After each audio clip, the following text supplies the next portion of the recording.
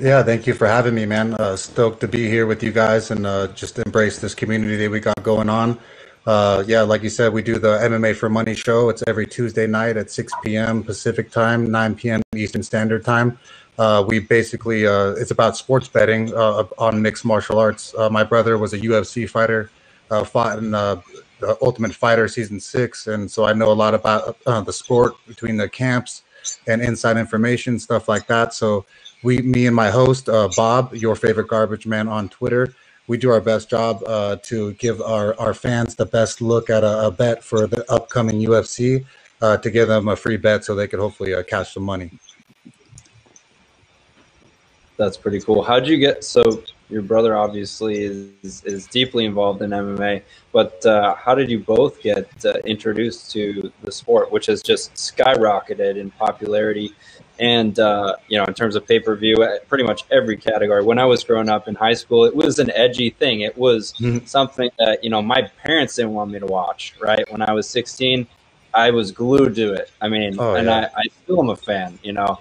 But uh, anyway tell us a little bit about your backstory. Great to great to have you here yeah, um, you know, I I don't like you know I like to do my own thing and not just uh, bring up my brother's accolades, but uh, it's it's for this thing it's it's relevant. My brother, uh, he's sadly is a war machine. Uh, John Koppenhaver, uh, he's now got a life sentence in jail forever for uh, being an idiot. so, but either way, but the point is, is that I've been he was trained in the Lions Den in San Diego with Ken Shamrock back in the, the 2000, I guess 2000s ish, and early 2000s. So we, we got our start over there at the Lions Den with Ken Shamrock, uh, super famous fighter, as y'all know, uh, fought in UFC 1, 3, and 5, and uh, many others. Uh, so, you know, with, between the, the, experience of Ken Shamrock, my brother fighting, um, for me, it was just kind of an easy entry to the sport to analyze it and to, you know, to bet. I ended up, I just kept I just kept winning, man. I every I just knew the sport so well. I knew who had a black belt, who had a brown belt, who had better boxing, who switch stances, uh, like I said, who's orthodox, who's southpaw, whatever it may be. Uh, I would find an edge, and I and I literally I, I proposed to my fiance with a five five plus thousand dollar ring that was paid for by uh, winning MMA bets. Uh, thank you, Bovada. And uh, so it, it, literally started from that about five years ago, um, and then about 2017 is when uh, I really started embracing it. Um, the, the betting community is big into cryptocurrency. Um, and so we got into Bitcoin and other cryptocurrencies as well about 2016, 2017.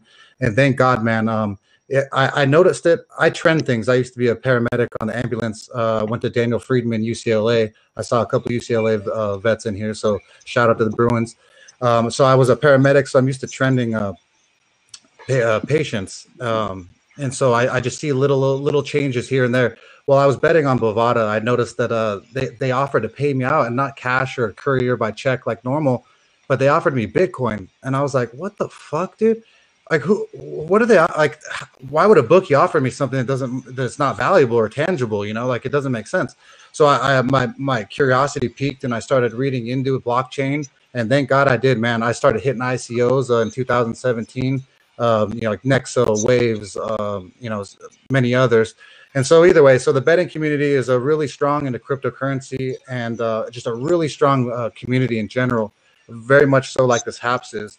And so I, I, can't tell you how many friends I've made just off Twitter that was in the betting community. And then we ended up uh, doing investments together. I'm also one of the early Tesla shareholders. Uh, I got in about $99 before uh, the pre-split at 2,500.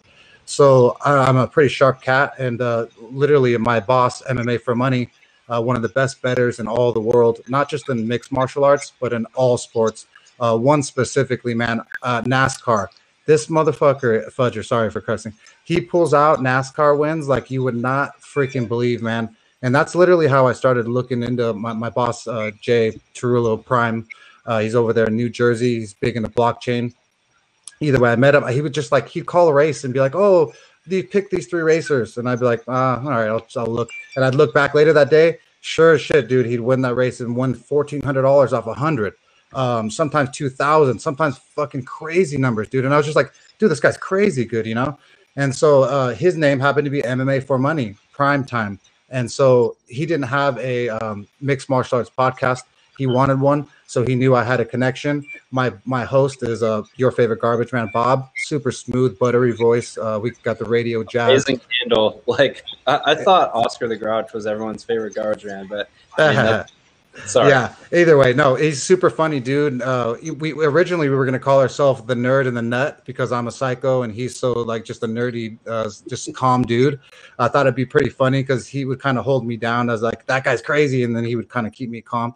So either way, but we ended up being you know the MMA for Money show. So that's how we got started. Now we have a third co-host. His name is Mikey Gills. Super talented dude. We brought in. He does DraftKings uh, for, MM, or for MMA specifically and for free the dude's amazing, man. He cashes some of our uh, our listeners some amazing uh, uh, bets on the weekends for DraftKings for free.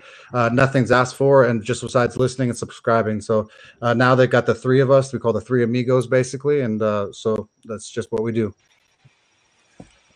Do you awesome. do you think of yourself as a like like a journalist who's covering um, mixed martial arts? Yeah, like sort of traditional sports journalist, or it seems more like you're into sort of the the betting financial side. Mm, it's it's kind of a mixture of both, right? Um, if I would, if I could, I guess if I could, I can I can write a, like a poetry, I can write a poem really well, and I can come across pretty good. But I, I'm not. There's other people who are better with grammar and English and writing things. I, I, I could probably write a book. I could probably tell someone to write it, like what to write in a book, but I'd want them to like make it look better. So I'm not a journalist because I don't want to put it out there in the sense of putting professionalism on a, like an essay form.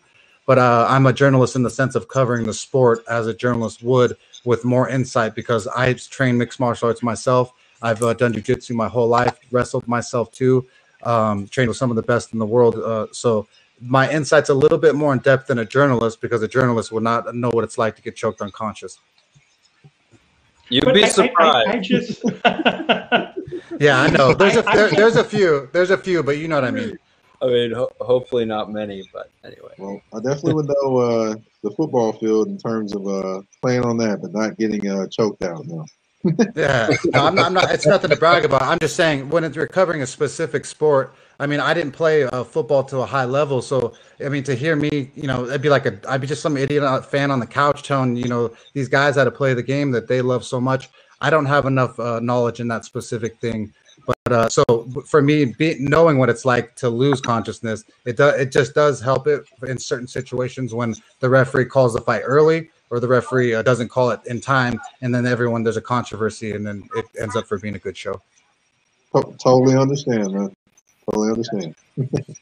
I, also I, I, I think it's interesting, sort of like how it changes when you are covering a sport for the purpose of like helping people bet on it and make money versus if you're just like covering it you know for people who are interested in watching yeah well because interested in watching it your feelings get involved right so you don't have feelings in betting. You know, that's a number yeah. one rule. You know, I'm a Dodger fan. You better believe when they lost to the Boston Red Sox, I bet every single game against the Dodgers. I'm a Dodger fan. I know good baseball. Boston Red Sox was too good, bro. I surprised that they, we won even the one the one game we won the one the one fucking game we won against the Red Sox. I, w- I bet against them and I was in shock. I was like, no fucking way they did not want that. It was the like a 15 inning game either way, bro, it's just funny. Like I said, feelings aren't involved in that sense. So, you know, uh, in the sense of like, I don't have any feelings for that team. I'm just trying to find us the edge to win on betting and hopefully make my betters some money. You know, the, the one advantage to betting against your own team is that you win either way, whatever whatever the outcome is. Dude, that's, you you couldn't. The have, one thing I like about it. You couldn't have said it any better, bro. It's it's like it's like it's like oh we lost or we won. Either one, I won. That's fair. Yeah, I get it. But but I appreciate you. Uh, I appreciate you guys having me. Oh no, for sure.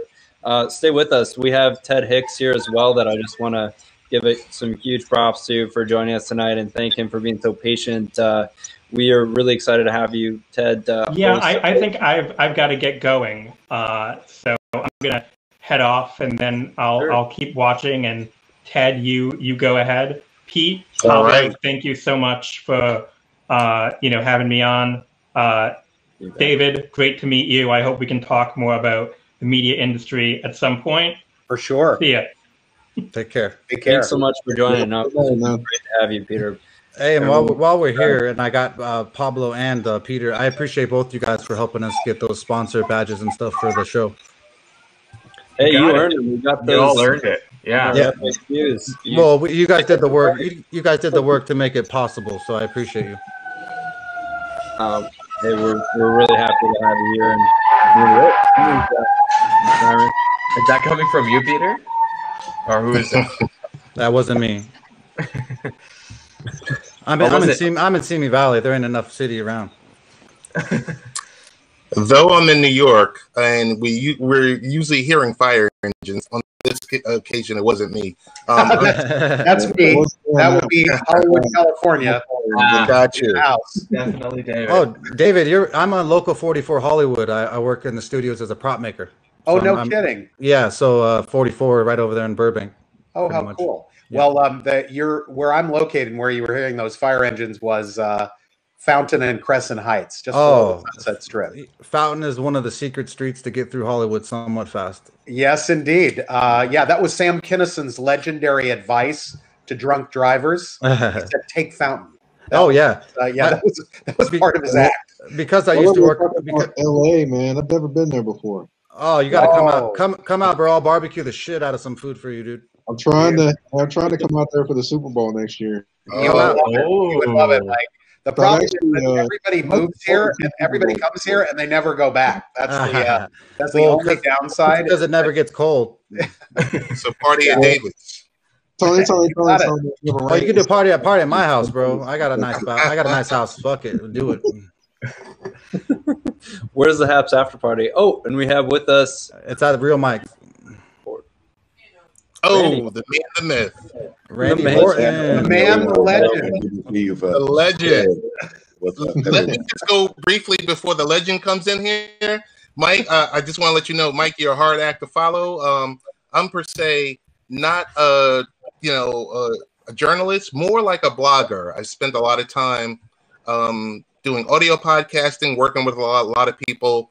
Um, I write for Late Night Parents, which is I, I would say you could define it as a dad blog Nice. because you know there's there's a whole bunch of mom blogs out there, but the dads get things done too.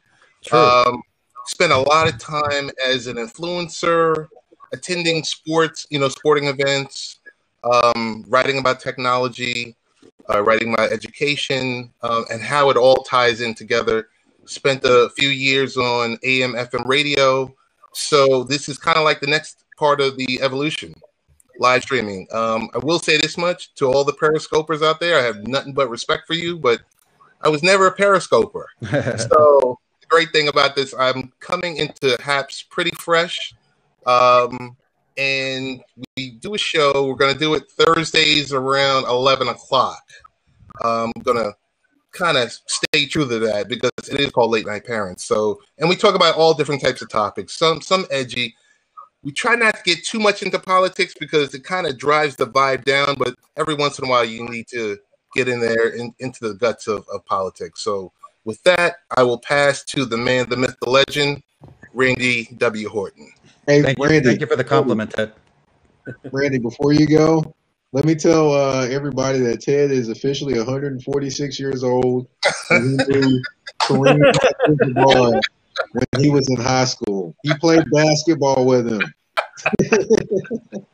Listen, the other night we were doing a podcast, and I mentioned to Danny and to Mike about seeing Kareem Abdul-Jabbar play in 1979, uh, watching him on, you know, regular TV, like with the rabbit ears before cable TV, um, and those guys had a, a, a good laugh about it.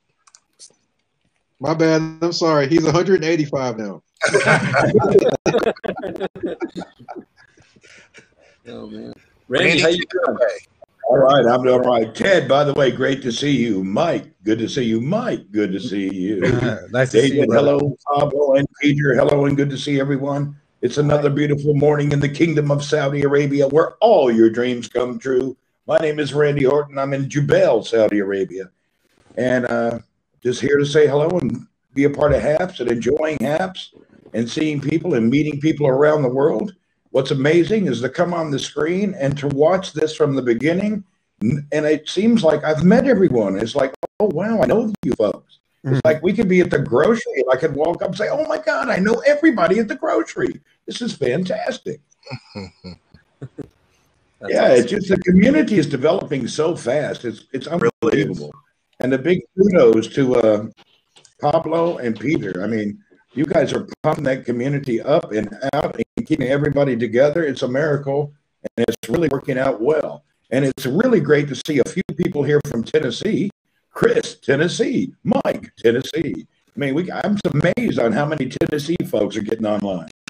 Actually- as you guys know, I am originally from Tennessee, so big kudos on the Tennessee folks.